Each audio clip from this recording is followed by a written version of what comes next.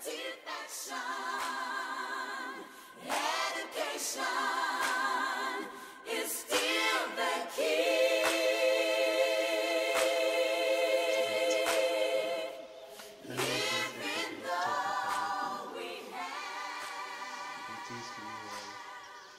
you support you're supporting Sankofa Africa Home Free Education.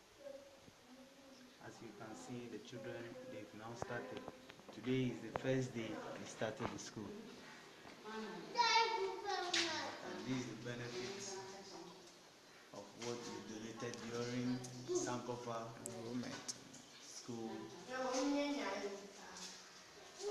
These the benefits that have. And these are the first students we started today. Thanks for your support. Keep supporting. Will